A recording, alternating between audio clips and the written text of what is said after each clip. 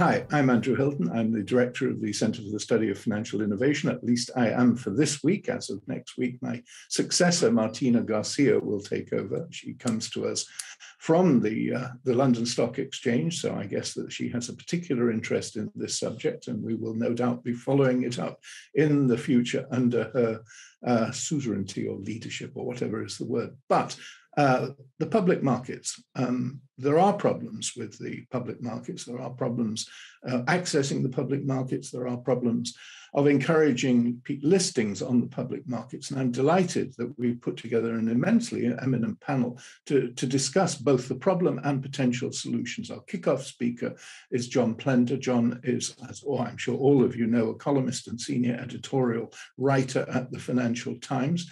Uh, he's also a former, uh, what, a former uh, chairman of um, a listed company, um, Quintain. He's a former chairman of PIRC. Uh, he has written extensively on a whole range of issues. His most recent book, Capitalism, Money, Morals, and Markets. Uh, and of course, he started as a chartered accountant with Deloitte and Plender, but he doesn't get things all his own way. Our next speaker is Angela Knight. Angela is a former city minister, but I first came across Angela when she was the chief executive of APCIMS, the Association of Private Client Investment Managers and Stockbrokers. Since then, she has been the chief, the chief executive of the uh, uh, BBA. She's been the chief executive of Energy UK. She has been the former the chairman of the Office of Tax. Uh, tax simplification, which is, I suppose, an oxymoron, and she's currently the chair, chairman or chair, I'm never quite sure, of Pool Re. Uh, but after her, equally eminent is Adam Farkas. Adam Farkas is the chief executive of AFME, the Association of Financial Markets in Europe, where he has been for the last couple of years. He's the former executive director of the Paris-based EDA, EBA, the European Banking Association, one of the three ESAs. Before that, he was a managing director and board member at the National Bank of Hungary and Nandini Sukumar, Nandini, whom I've known for a very long time, almost as long as the CSFI has been going, uh, was is the chief executive the world of the World Federation of Exchanges here in London, where she's been for eight years. She was previously a correspondent on market structures at Bloomberg. And if there are any holes left to fill, we have Jonathan Haynes from Oxera. He's a senior consultant there. He was formerly at the European Commission, formerly at the UK's government's economic service, and before that at HM Treasury. So that's a powerful panel to discuss which I, what I think is a, a really genuine problem. First of all, let me ask John, John Plender, to, to kick off and give us, as it were, a synoptic view of what's going on here. John. Okay, well, thank you, Andrew, and good morning, everybody. Um, I think we can probably all agree that there has been a, a, relative decline in public markets relative to private markets over the past 20 or 30 years. Um, just to put a number on that, the OECD estimates that since 2005, more than 30,000 companies have delisted globally from stock markets, especially in the US and Europe, and that has not been matched by new list listings. So there's a, a, net loss of listed companies in the OECD every year from 2008 to 2019. Now, if you look at the US, where the phenomenon I think is probably more marked than everywhere else, the number of private companies is lower than at any time in the past 40 years. So that's the, the thing that I'd like to concentrate on, on primarily. Now, there are a number of structural reasons why that change in the relative balance of power between public and private has come about. But I think it's worth emphasizing at the outset that our views on this should be colored to a large extent by what has happened to monetary policies since uh, the financial crisis. Uh, the fact is that we've had ultra loose monetary policy, extraordinarily low interest rates, and that has meant that super cheap finance has been available for buyouts and for M&A. And that has been a very powerful impetus behind uh, the tilt in the balance of power from public to private. And I think the overvaluation of equities as a result of ultra loose monetary policy has encouraged investors to increase their risk appetite and engage in a search to capture the illiquidity premium in private markets. On the structural changes in the economy that have affected this issue, um, obviously the institutionalization of investment, which has been a progressive feature really over uh, 40 to 50 years, um, that has uh, created huge pools of professionally managed money that uh, is this is looking for diversification opportunities. So there have been huge inflows of that institutional money into private equity, which means that it's easier for innovative private companies to stay private. Um, and that has also been uh, encouraged by changes in regulation. The, the limitations, for example, in the US on the number of investors uh, you have in private companies has been increased since 1996 quite considerably. So it's much easier to stay private on the basis of that uh, regulatory change. And it's just worth uh, reminding you, too, that um, uh, one of the effects of this huge flow of institutional money into private equity is that dry powder in private equity is now measured in trillions. Um, worth mentioning, too, another structural change, which is the growth of the intangible economy. In the 1970s in the US, the average ratio of intangibles to book assets, net of cash, was 20%. There's been a fivefold increase since then. In the 2000s, it was 100%. Now, I think the significance of that shift in our economies towards intangibles is, first of all, that um, these companies that are predominantly uh, based on intangibles don't need IPOs for investment. Um, the only reason they engage in IPOs is that their backers need an exit um, and they need to have a currency for takeovers and to uh, give their employees equity. Um, some people argue that private equity is a better structure for these kind of risky intangible operational knowledge assets, which are very hard to value, um, not least because accountancy practice is not really caught up with the intangible economy. I think that the accountants are, are behind uh, and are not good at, at measuring intangible values in the balance sheet. Um, and there are some people who argue that young intangible based innovators are not well suited to public markets which are short termists um, and the quarterly earnings treadmill is unhelpful for these kind of companies. Um, having said that, I'm a little bit skeptical uh, on this argument that PE is a better natural home for them because if you look at the quoted sector in the US, for example, uh, the number of small tech companies uh, that the, the, public markets accommodate that are hugely loss making is pretty remarkable. That is a, a, an astonishing kind of long termism in a way.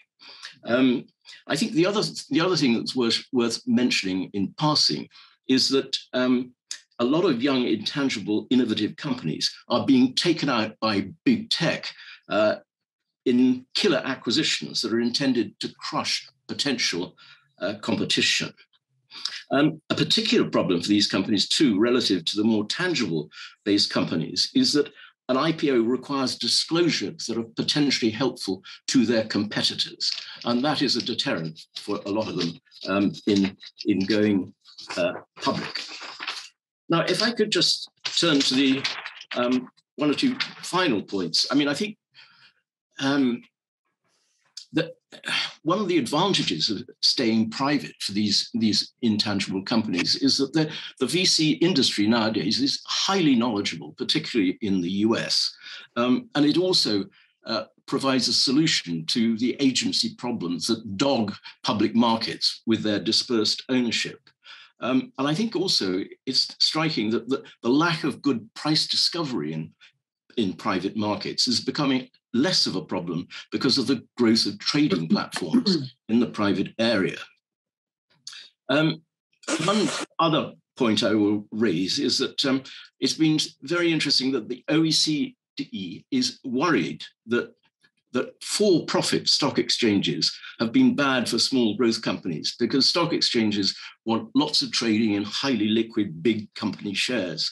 Uh, they don't have an interest in reducing IPO costs and or of course do investment banks. Well, finally, how do we revivify public markets if we think that that is a, a, a good thing, a, a necessary thing to do, which I certainly do?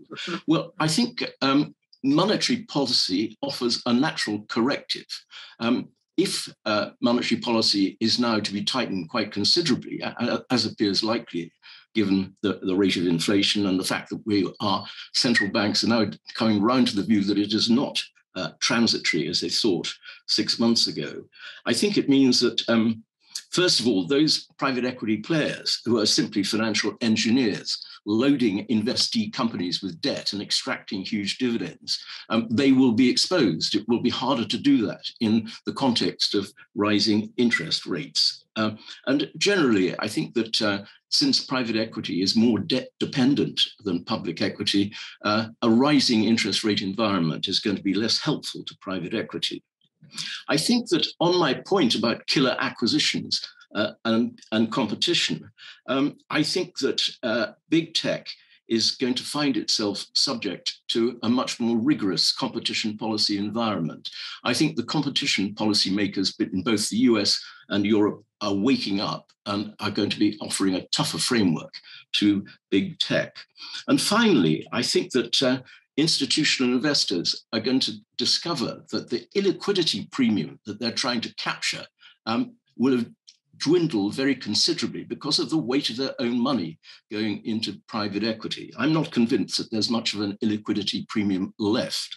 So, um, where does that leave us? Well, I think um, the balance will tilt a bit back towards public equity, but I don't think it will be a thoroughgoing revivif revivification. I think this debate will continue for a very long time. Okay, so what should be done? Uh, well, what I'm saying to you is that uh, I'm, I'm in favor of tougher competition policy.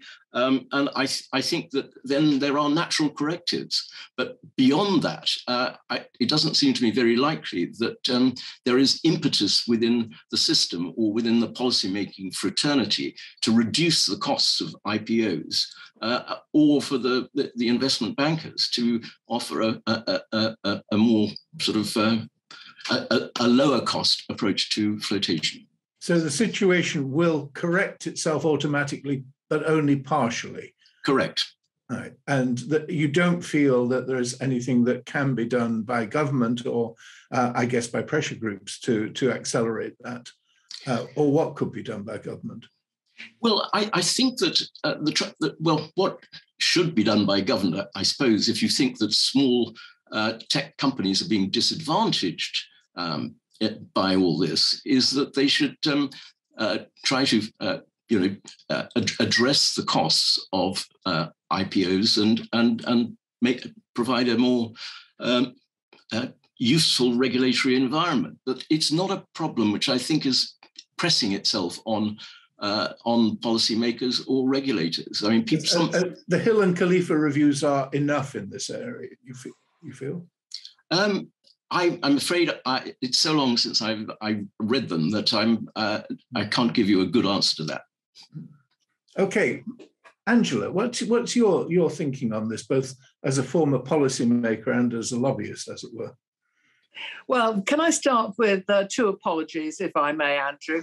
Uh, the first apology is that I'm sitting in the middle of a building site, which is called my home, uh, and I have uh, both noise going on all around me, um, and I also have uh, um, an internet that uh, keeps on tripping in and out. So my first apology is that. And I suppose my second apology in uh, taking part in this debate is I agree with just about everything that John Plender has said. So I will, in some respects, add to his points uh, rather than sort of just go through them again. Um, I, have been a long standing, as you know, great supporter of uh, UK institutions, the London Stock Exchange, London as an international uh, centre, London as being uh, well placed in all sorts of ways to be, you know, the, the greatest financial centre, of which, in many respects, because of its iconic nature, the London Stock Exchange is a part. But at the same time, I think that there are some real issues that we've got. In fact, some other public markets got, but but we've got. And so I'm going to constrain my remarks to how it looks and feels uh, in my role as a non-executive director, both of UK company that is listed and an American company that is listed. And then I'm just going to turn a few points around on what does it feel like if you are a customer of the London Stock Exchange. And of course, in many respects, you have to say the customer of the London Stock Exchange are the companies as well as the investors because it is. Uh, I remember that they absolutely hated me for saying it several years ago. I said the London Stock Exchange is like a supermarket. It doesn't own the goods on the shelves and it doesn't own the customer. And that is exactly, uh, well, that is one way of describing it. Uh, I suspect they would hate it, me for it today, but that is where it is. So, first of all, let me do that a very quick comparison between uh, being listed in the US and listed in the UK as far as a non executive director of a company is concerned. I mean, the first is is that the governance requirements, what you actually have to do uh, and be and swear to and sign off as a NED of a UK company, is much greater than that of a US company. Very noticeably so. I appreciate that there's a greater degree in some respects of, of legalistics that sit around some of the things that you say, particularly um, your financial requirements, the uh, that are placed on US companies. But nevertheless, there's no, none of this senior management responsibilities. There is none of this actually picking on a non executive director who chairs this committee or that committee, and particularly a remuneration committee. And um, as we know now, you know, voting them down if you don't like the remuneration proposals that they put forward. In fact, remuneration is a much lower key issue in the US than it is in the UK. It is perfectly acceptable if you're making a, a, a decent profit to pay your team uh, something, you know, your executive team, something that, you know, relates as well in the way of increases and packages um, than it is much more acceptable in the US than it is here. You do not have to, uh, as a US company uh, or a US executive, um, have your your shares deferred for three years and then you know another three years you've got to hold before you can sell. So there's a whole series of those requirements that sit around the board sit around responsibilities of the neds and sit around uh, executive remuneration that is in a different place in the us i'm not necessarily going to use the word better but i could. But it's in a different place in the us than it is in the uk and indeed, we used to have a comply or explain regime in the UK. We now have an either you comply today or you comply comply tomorrow regime in the UK. And unsurprisingly, if you are uncertain financial services companies in the UK, it is increasingly difficult to get uh, the choice of NEDs that you may wish, because if your choice as a individual is to go on a financial services company knowing that you have all these responsibilities sit around you which is governance plus compared with non-financial services you know you're saying well maybe i'll go on one of the others rather than our financial services. And then a, a step back again and say us versus uk it is notably lighter in the us than the uk these governance regimes that sit around listed companies. So that is that is one point. My second point is is this: if you are um, one of the companies that's John mentioned, you know, you're a tech company, you're a young com- company, you're a hungry company, you're one that isn't sort of sitting around with tangible assets. It's the new world. It's and all those sorts of things. And you are the founder, or you're one of the founders you've built this thing it's yours you, you know personally because it's your company your ideas you've built it you've got it to year three year four year five wherever it may be. And now you're looking around to say i want something back i want some some money back i need to pay some of my investors or whatever.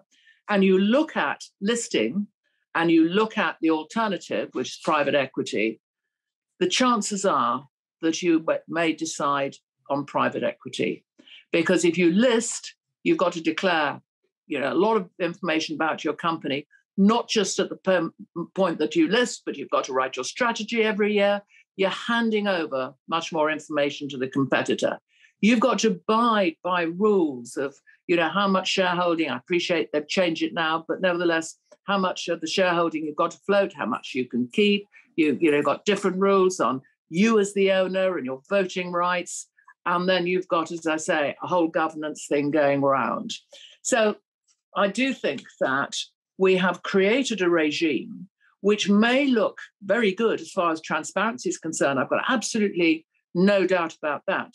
As far as some investors, and particularly here the large investors, it fits with their increasing competition between themselves about who can put out more and more requirements to listed companies. And I think that that is one piece of competition that I could do without. But from the perspective of the uh, attracting people to the regime that you have created, I think that we set up perhaps some hurdles that are too high. The AIM market has does do a very good job. And interestingly, when one looks back, that AIM market was designed for small companies. We've got some large companies on AIM.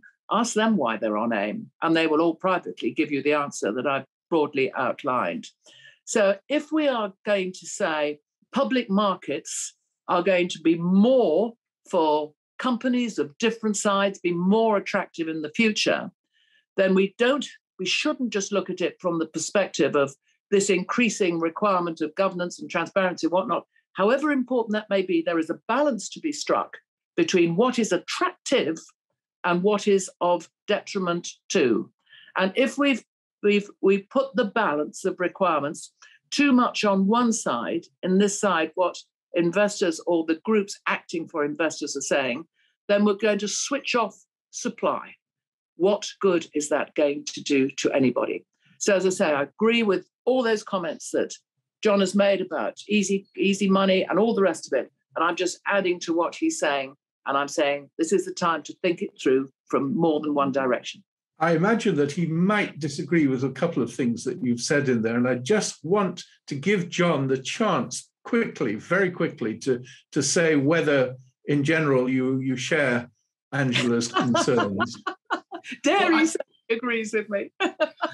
Um, well, I think Angela is is right that um, you know the, the, the, disclosure requirements and the degree of regulation on public markets is a definite deterrent to a lot of companies to to, to list. Mm. And and she's quite right too that AIM offers a much more um, hospitable home for a, a lot of these companies, uh, some of which have grown very big on aim. Um, and uh, as somebody who's uh, you know sat on a quoted company board uh, and, and, chaired a quoted company, I can tell you that the endless round of meetings with your institutional investors take up a phenomenal amount of time. Um, and uh, you, you can see that there are great attractions in not being under the constant glare that the public markets impose on you. Um, having, having said that, um, I, I, think that uh, public markets do do offer a, a public good, um, and a lot of this disclosure is is very helpful in terms of the way we look at the, the way the economy is run. Um, and I think that price dis- discovery is very valuable, and the public markets provide that to a far greater extent than the private ones do. But I think one has to be realistic and recognize that, you know, what is the incentive to go public at the moment? And it is true that the incentive in uh, the UK is um, there is a rather greater deterrent than there is in the US. Okay, Adam, Adam Farkas, what's um, your your view on this? Um, Thank you. Um, thank you very much.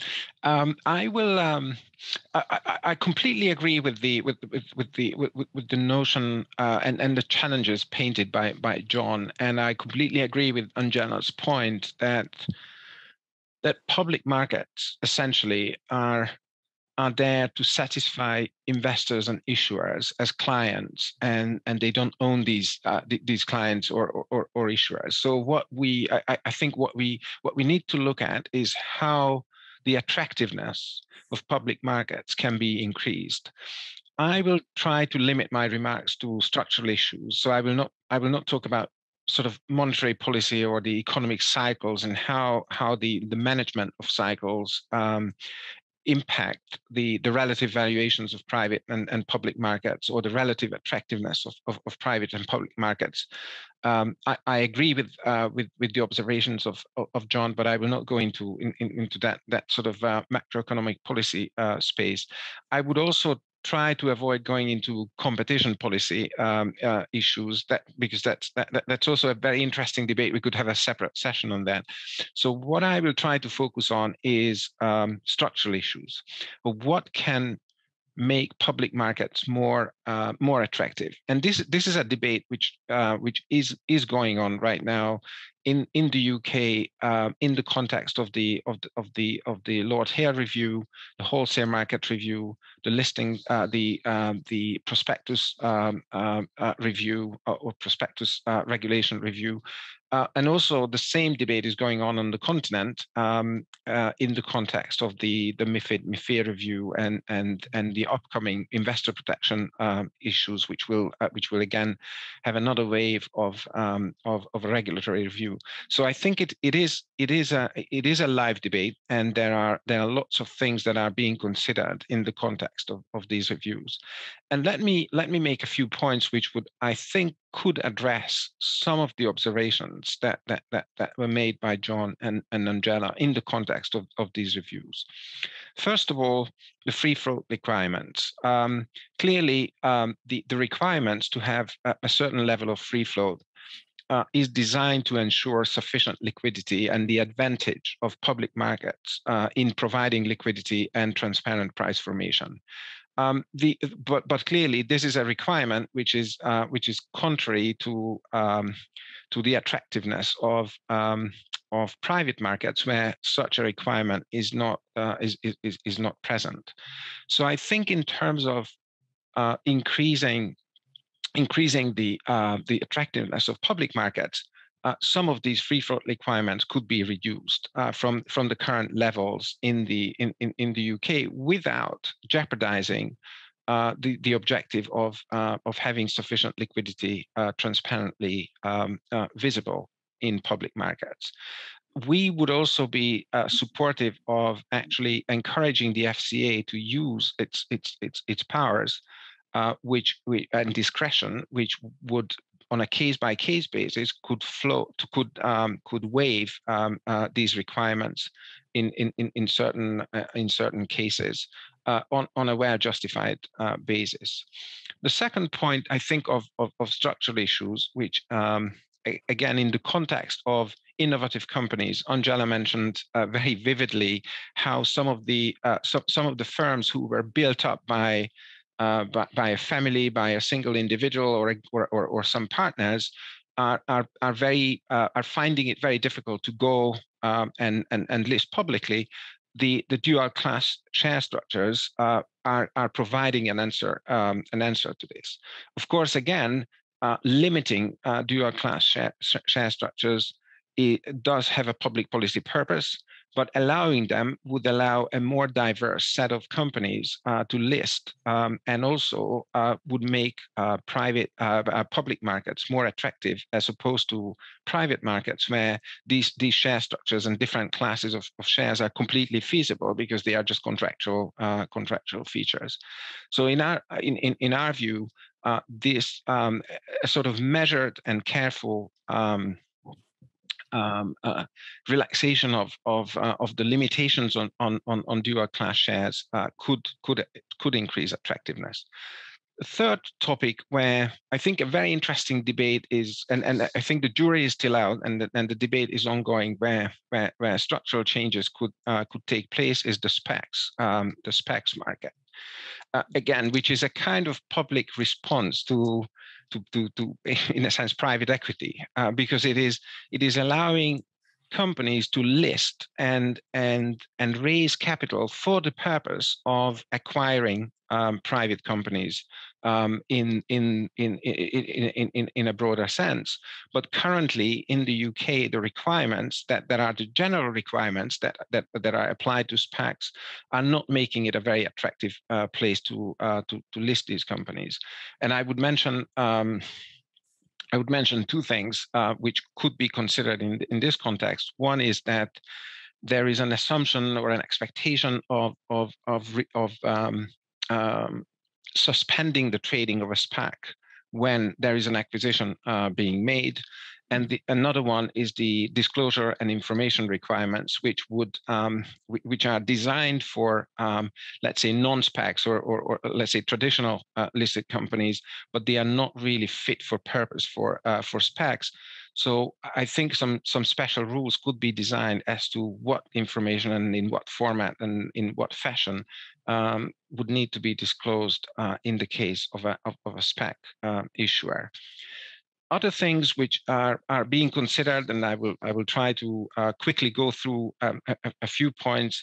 Um, in the context of the of the regulatory review is the share trading obligation, where I think the um, the UK is, is, is clearly moving to the right direction of removing this, this obligation, i.e., making it completely free for investors to decide where where they want to execute their uh, their trades, uh, where, where they want to channel their uh, their uh, demand and supply. Um, again, we are fully um, in, agreement with that. Uh, we think that market outages are an issue for for public markets. Um, we would very strongly welcome some more, um, a, a, little bit of uh, top-down or policy help in um, in actually having frameworks in place uh, to handle market outages. Uh, they happened across the continent, in the UK and, and the continent uh, in, in, in the last few years and it would be really good to uh, to have a system um, or have arrangements in place which in case of an outage um, allows liquidity to uh, to quickly shift um, uh, somewhere else and and allow the continuation of trading which again would make it make it more more attractive for for investors as well as issuers uh, in terms of market structure issues, there are small, small tweaks which do have significance, uh, which could be uh, reconsidered. Uh, the double volume cap. Um, it, we, we, remember this is a this is a feature of EU EU regulation. We think that this uh, this would need to be re removed um, um, uh, from from all equities. Um, there is there are tick size regime regulations which which um, currently prevent uh, bilateral trades to be executed at, at, at, midpoint. This is not the case in the US, so it's just undue limitations on what investors uh, can do uh, and where they can uh, they can uh, channel the liquidity. And also, um, there is uh, there is a I think we think, and investment banks, our members think that there is a need for the recognition of um, of SIs, systemic internalizers, um, eh, who are clearly their their role is is that they are they are lending their balance sheets uh, and increasing liquidity um, and with the appropriately designed uh, disclosure requirements um, the, these, uh, the, the, this segment of the market or this execution mechanism could play a, a, a very um, positive role in uh, enhancing liquidity and, and the attractiveness of public markets as well. So it's it's really to have a diverse ecosystem of, of trading and execution mechanisms that would we think would make um, equity markets, both primary and, and, and secondary, uh, more uh, more attractive. So I, I would conclude here. Would be happy to go into some of the details, but but I think some of some of the um, let's say market structure measures uh, could significantly add to the uh, to the attractiveness of, of, of, markets and address some of the issues John and, and Angela rightly pointed out. I'll and do you think here. do you think that the UK government is on track to to take your advice on this?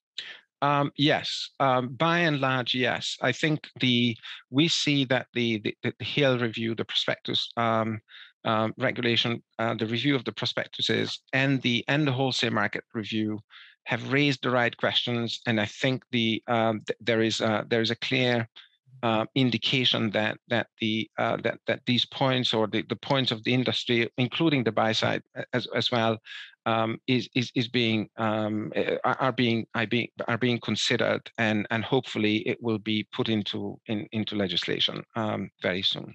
Okay. Again, can I ask John whether you accept the specific recommendations, the free float, uh, the listing of SPACs requirement, and so on?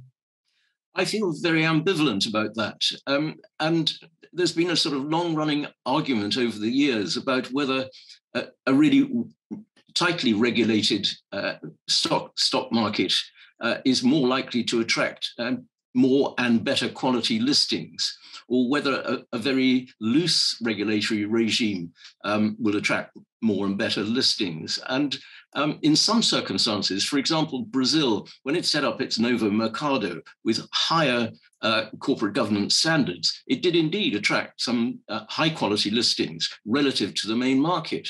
On the other hand, um, in the UK, I'm not sure that that has actually applied. Um, but uh, I do slightly worry that if we if we lower our standards, then um, we will see higher levels of of, of abuse.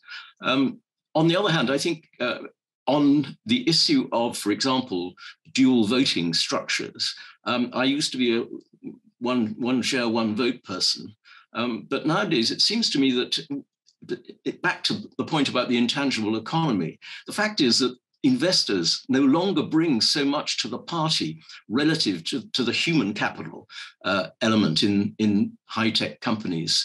Um, so I think that uh, there is a there is some sort of logic and justice in allowing entrepreneurs to have a greater voting power than these outside shareholders, many of whom are just passive profes- professionals. Um, so uh, I've changed my view on that. But um, in general, I'm I'm not entirely well. I'm slightly worried uh, with some of Adam's points because uh, I do think that uh, a well regulated stock market, a more tightly regulated stock market, ought to attract uh, more and better listings. But as I said, I, I have to acknowledge there are there are shortcomings in my argument there.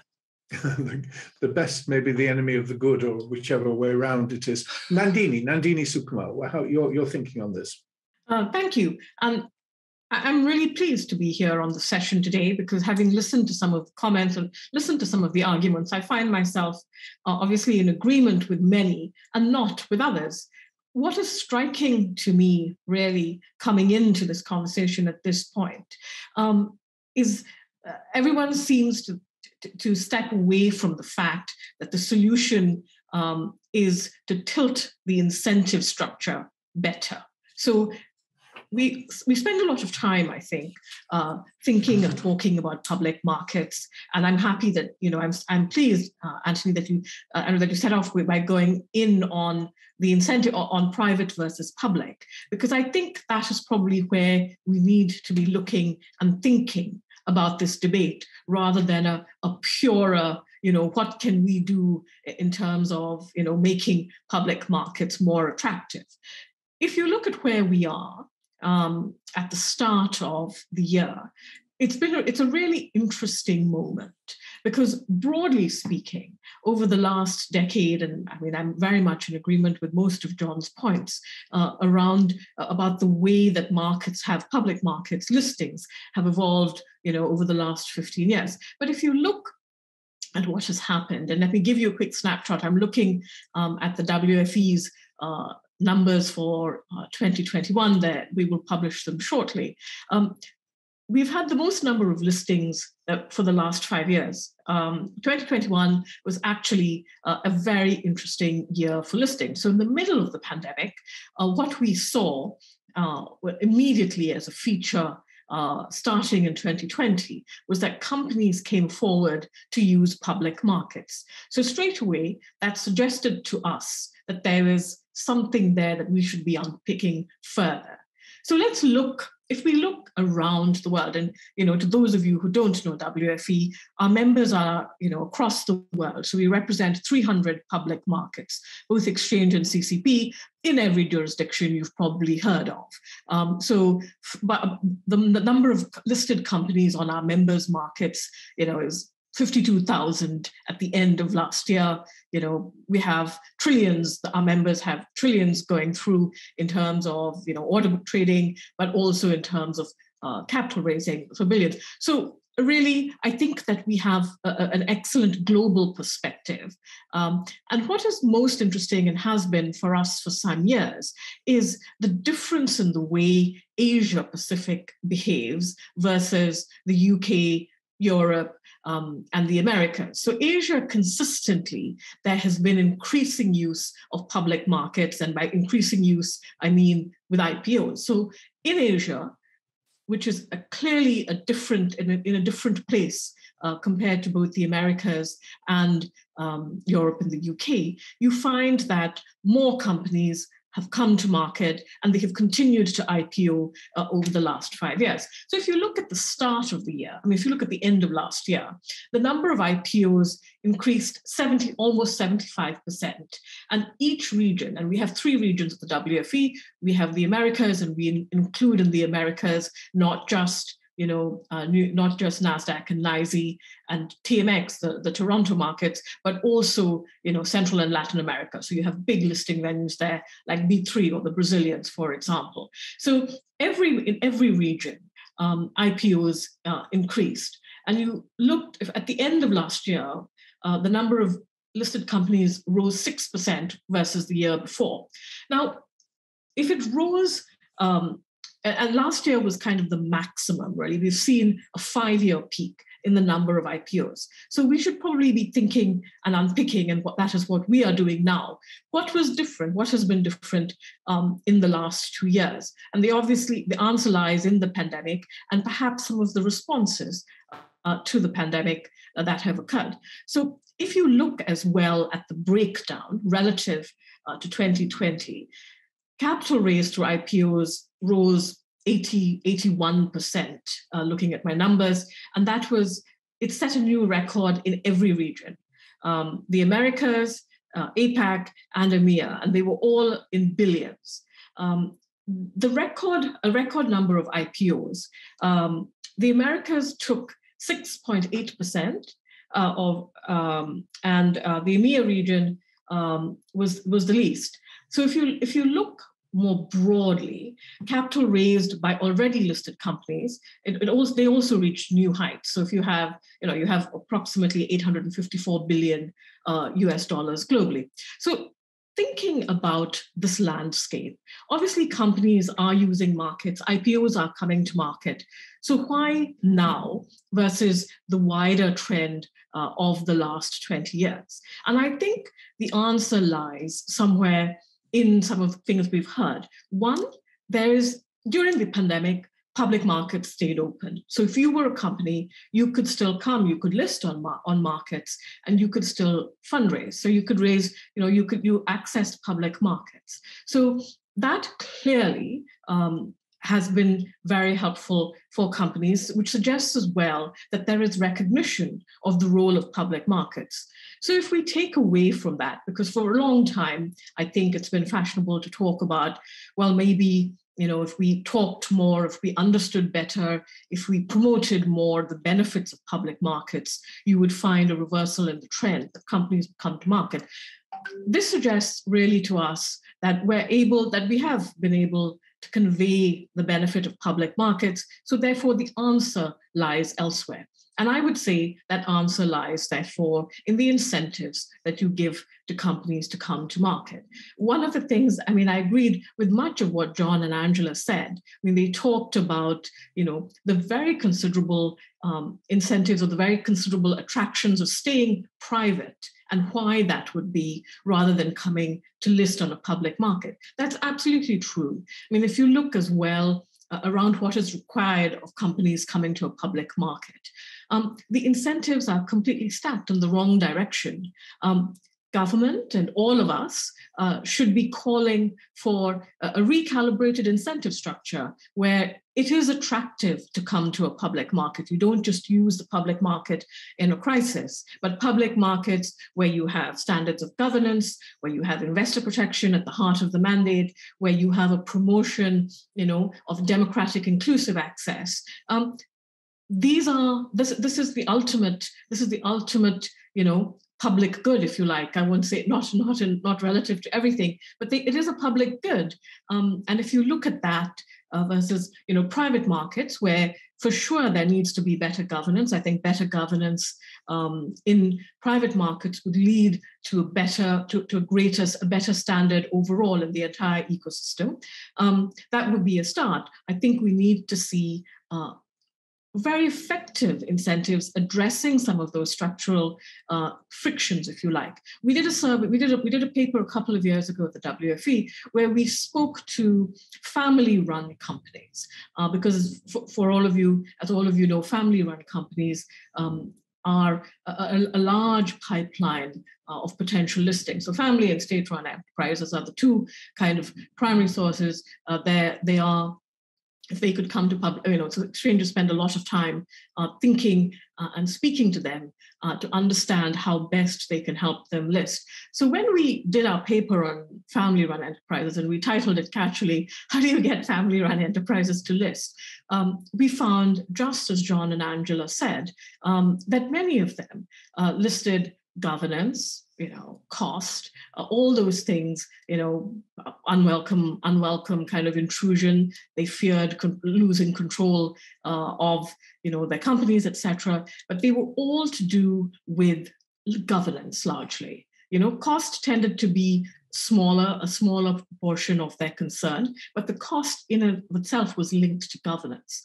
Um, and this goes back, I think, uh, to something that uh, Angela and John said, which is, you know, if you public markets exist for a public good, there is a cost involved with using public markets. So instead of focusing on the cost, we should be focusing on the benefit.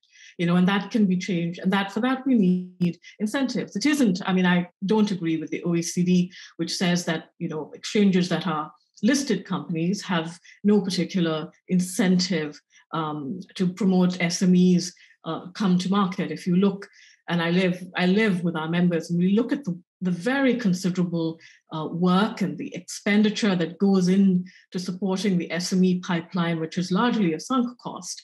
Um, if you look at that, you would under, I mean, one understands really that exchanges spend a lot of time, uh, whether they're private or they're public, because listing is the future. If companies don't list, you know, none of us uh, on this panel would have anything to be talking about. I'm very keen that we should we should get Jonathan in. So can you yes. can possibly wrap up? So the, the other point, and I want to conclude really by saying that the answer lies in the incentive structure. You know, private versus public. At the moment, the incentives are much more tilted in favor of public of private markets. Tilt them in favor of public markets, and we'll be in a good place. Okay, great. Let's let's Jonathan. What um, what's your view of the the entire debate that you've heard? Th- thank you very much, Andrew, for, for inviting me. And uh, you know, incredible amount has already been covered. It's quite a difficult job coming coming at the end. Um, and I think most of uh, my reflections come from um, some analysis we did for the commission. So as Adam Farkas was saying, um, th- this is a live debate in, in many regions, and the European policymakers are also looking at this. And we did quite a lot of analysis on, covered all the points raised, and I think I agree with uh, nearly everything that, has been discussed. Um, our, our pre-COVID numbers on the listing gap was that there are 17,000 large unlisted companies in Europe that could be listed, and the UK was the region, the country with the largest gaps, with 3,500. That was pre-COVID, and I know there was a lot of listings in 2021, but I think that the the larger long-term trend is is still there. That that's my view, and I heard also in 2022 there's kind of a bit a bit more subdued activity. In in terms of what can be done, uh, oh, sorry, what's the problem? What's driving the problem? Clearly, yes, private equity is a key one, and M and A are the two key factors that, that our analysis concluded was the key driver of this. And on, on the M&A side, what's interesting is, you know, the, the textbook example in the, the 80s would be that a firm grows through an angel investor, venture capital investor, and then eventually it has to go to the public market to, to grow and expand. And now what you see is actually the firm could go to the public market and then be acquired into the, the private market. And we, we saw in the data, um, you know, companies being uh, acquired by large listed companies, but also companies being acquired by large uh, private uh, companies. And, and and in that flow, stock and flow analysis, that that, that does support the reduction in the number of, of listed companies. Um, and then, you know, there was this obviously we've tried to focus in our thinking about what, what I would call controllables from the policymaker perspective. So, so less um, about the monetary policy um, dimension, and also some of the things that are happening are very positive developments. The, the, the growth in private equity is, is a positive thing to to embrace and bring good outcomes. Um, in terms of what what can we done, support a lot of the things that have been discussed already. We spoke a lot with the FCA and the Hill Review to support their, their analysis. Um, I think all the changes around dual class shares, free float, market cap, Um, and also one that's been mentioned, the track record requirements, also a helpful start. But I think as, as Lord Hill himself put it, that was about London closing the gap with other financial centres. And I think um, kind of also people recognise there needs to be a sort of broader, more holistic um, view view on that. I fully agree with the point that's just been made by uh, Nandini about follow on. I think one of the big successes last year was, uh, and the big benefit for a public company or the public market is the ability to tap equity markets and raise capital. And, and that meant that you didn't have to have gov- um, larger government support measures in place to allow companies to access working capital. They could just go, those public companies could tap the markets. And that is a big success story that I think it'd be good for more companies, private companies, to be to be aware of and, and to make more of that.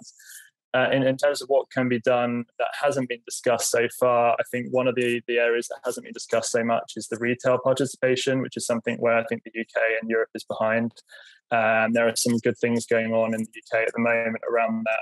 Primary, PrimaryBid, for example, are trying to support retail participation in the IPO process.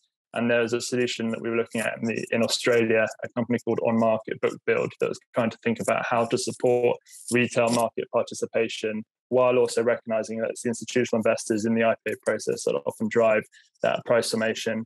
The other thing uh, which we kind of quite interested about is around um, we talk a lot around the search costs, the information costs around being a public market, uh, public um, company, but um, how can technology, how can the kind of often these markets evolve and, and solutions and entrepreneurs um, provide solutions to deal with these problems, and that is what we're seeing. Um, so there are some technology solutions that are in in development and starting to work their way through the system around trying to make it easier for people to use information in a in a cost efficient way um, to address some of the, the concerns that, that have been raised. And then finally, uh, and I'll pause. Uh, the interaction between tax system, uh, company law, and this thing, I think, is something else that hasn't yet been covered. So the tax, obviously, the debt equity bias is really important. I think on the positive side in the UK, there's been a number of tax measures that have helped supported investment in AIM, for example, inheritance tax rules, and that's some of the other things that the Treasury have done in the past. But clearly, the debt equity bias is, is important. And on company law, something that we've noted across jurisdictions is when people are thinking about, and I think Angela talked a lot about remuneration, and if we look at things like disclosure on gender pay gaps and all these things are very important in terms of um, broader social um, uh, uh, policy. And, and we're about to see the next wave of that with ESG requirements. Often those things are often um, applied on legislative uh, listed companies in the legislative process, which which does often tilt that balance. Often it's not intended at the beginning of the process, but when you go through the full legislative process, it often ends up applying to listed companies which I think is, is interesting to sort of sit back and reflect on. Well, I'm particularly interested on that because it does seem as though you know the, the trend is to make make listed companies even more um, forcibly responsive to government initiatives. And I don't know how Angela and, and Adam would think about that. Angela first. Yeah, well, thank you, Andrew. I think in that instance, uh, more is worse and less is better as far as uh, uh, additional governance and additional requirements. And that doesn't mean that I'm against uh, anything to do with ESG, which is clearly is a force for good, as is uh, publication of such things as the gender pay gap. But there is a the, the, the way that the intention, which might have just been on the big companies, uh, has now walked its way down through the system. So everybody's having to do something and they have to do something even if the rules don't say it because the major investors or the governance groups are saying you must do this or we're going to vote against has added unfortunately a disincentive to new listings and has certainly put some question marks as well in some of the mid-sized companies. Um, to my mind one of the uh, you know there are a couple of things that have been said which are extremely useful and we should try anyway I mean, if we bundle up all those changes that um, uh, were mentioned by Adam, and we get those uh, uh, those changes put in place, you know, that at least has removed some of the the structural hiccups that that are there. And then, you know, Nandini uh, made the the comment about the um, whole area of um, uh, incentives. Uh, and the the family companies. Was that Nandini or was it you, Jonathan? I'm not entirely sure. Nandini, but, yeah Yeah, but that there are a lot more family companies who could come to the market and potential and aren't coming for various reasons. Address those reasons. And then if you've done the structural changes and you've picked up some of the, re- the reasons, then package it. So you're not uh, presenting to uh, a company, a founder, a family, here's this list of technical things, and then it's going to be all right.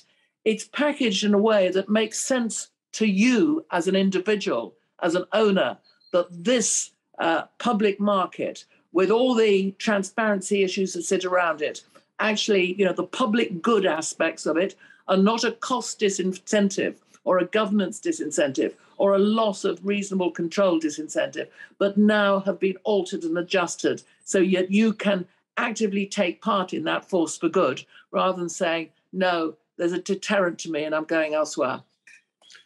Adam, I mean, the, the whole issue of founders and, and family um, owned companies. I mean, I, I know the FT has, has, has, run a number of things saying, well, maybe family com- owned companies are quite a good thing. They provide stability over a longer time. Um, the issue of uh, incentives that Nandini brought up, your response on, on, on these various tied issues. Yeah, well, well the the um, on on the incentives, I, I think I, I think it, I, I, I totally agree that that incentives should be um, should be tilted, and I, I I don't think we need to swing the pendulum to completely to the other side. It's more of a more of a scaling of of, of the incentives or balancing the incentives uh, much better between private and public markets. And regarding the um, regarding additional requirements in line with um, investor expectations or, or, or government policy or both. Um, I would have a let's say a less radical view than, than Angela and uh, and and and sort of no, I wouldn't say that that more um, is less. Uh, what, what I would say is that these requirements should be proportionate. Um, see, the, clearly they should be uh, they should be more measured and and and and, and balanced uh, because because publicly listed companies uh, should play a leading role in in in sort of delivering um, to the expectations of society as a whole, uh, investors more specifically, uh, the the asset managers uh, in in the area of ESG or diversity or any any other um, um, uh, issues that are that are of concern for the society, but they cannot be uh, made um, sort of disproportionately the, the scapegoat or the the the, the targets of of of um, excessive burden in in in in that space. So I think uh, disclosure requirements are very important. Public companies are subject to a lot more disclosure requirements. Um, some some rules might be might be proportionate. Um, some higher expectations uh, fr- from the leading companies might be proportionate or or, or reasonable, but but it, they should not be excessive. So that would be my, my my sort of answer. Okay, let me ask a final question to all of you. If will we be having this discussion five years from now? Nandini, is is this an issue which is going to continue, or will we see a resolution one way or the other? Nandini? We won't see a resolution unless we tackle the, we tackle the point around incentives. So if you and and just going back to um, Adam's last point, I mean the requirements on on on public companies add up, and we should really be seeking to address this in a holistic way you know, so that private companies in the private market also, you know, have better corporate governance, because I think that would go a long way uh, towards one, improving the overall health of the system, and two, you would find that the, that the disconnect between private and public markets is less. Jonathan, will we be having this debate? I think we're having a be having a similar but slightly different version of the debate in five years, and I think probably that depends on the, the other structural factors that uh, John so neatly articulated at the beginning. Um, but I think all of these policy discussions and, and changes that are happening are, are positive and are to be welcomed. Angela. Yes, I agree with the I agree with what's been said actually in the that the proportionate point I think is a very valid point and it's something that really needs to get into the rules and get into into the requirements. Um, we will be having a debate in five years' time. That debate, Andrew, will depend upon what it is that individuals, people who run companies, boards who run companies, have done. Uh, either there'll be changes which make them believe that coming on the public market is a better thing, a better route for them, or changes will have been made, but somehow they haven't uh, hit the spot. Never underestimate what people do because it is how they feel and what they think is in their best interest will, which will govern their act and will govern our, our, it, our debate. It is not axiomatic that the public markets will be the preferred route five years from now. Yeah, absolutely. I agree. Um, so I think we will have this debate in five years, maybe slightly on, on, on slightly different topics, but I think it's. Um, I, I, just don't see that the trend will reverse um, sort of imminently. John, the final word is with you. Do you feel the trend will reverse either imminently or within a reasonable time frame?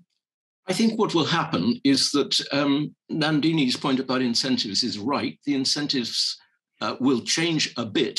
The date, debate will continue, but I think one particularly important incentive is, is, is one that was um, uh, raised um, uh, by Jonathan, and that is the tax bias in favor of debt against equity is a real, really serious problem in the global economy. If you look at the huge overhang of, of, of debt in the non-financial corporate sector at the moment, um, that is deeply worrying, and there's is going to be the source of considerable trouble. And this bias also contributed to the great financial crisis.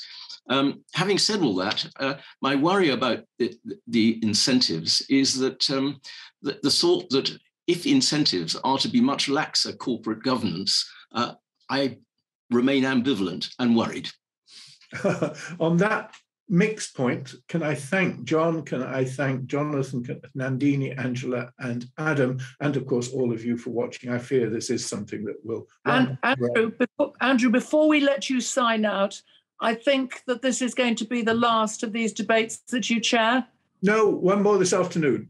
You've space. got Because I was, well, then, if it's a second to last, I would still like to take the opportunity, if I may, on congratulating you on the fantastic job that you've done with the CSFI after so many years. And we must have the opportunity to raise a drink to you and and the and and your your fantastic record there will be a handover party, I hope, uh, but Martina rightly wants to get her feet under the table first. So it will be probably in three or four weeks. Uh, we'll have. All right, but it's still like congratulations to... to you. Well done, Andrew. Anyway, like to join and Yep. indeed. See you soon. Thank you.